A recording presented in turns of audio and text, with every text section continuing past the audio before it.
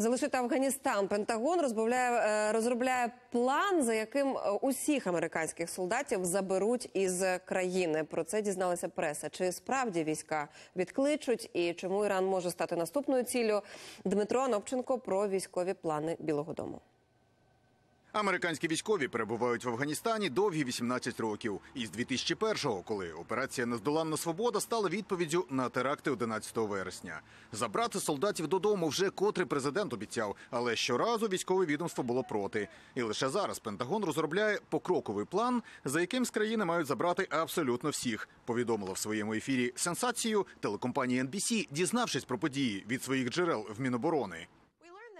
Ми дізналися, що Пентагон щойно розпочав планувати операцію щодо повного виведення військ з Афганістану. Прямого наказу поки не було, але все це через те, що президент Трамп вважає, що повернення солдатів додому це перевага для його виборчої кампанії. Саме із майбутніми президентськими виборами преса пов'язує все, що відбувається. Мовляв, Трампу потрібен красивий жест, який показав би людям ефективність його зовнішньої політики. І тому перед дислокації військ у Сирії, де за наказом президента частина військ пішла, кинувши свої бази, може бути лише генеральною репетицією майбутніх подій в Афганістані, коли головнокомандувач ухвалить рішення особисто миттєво і не спитавши нікого. Він і сам цього особливо не приховує.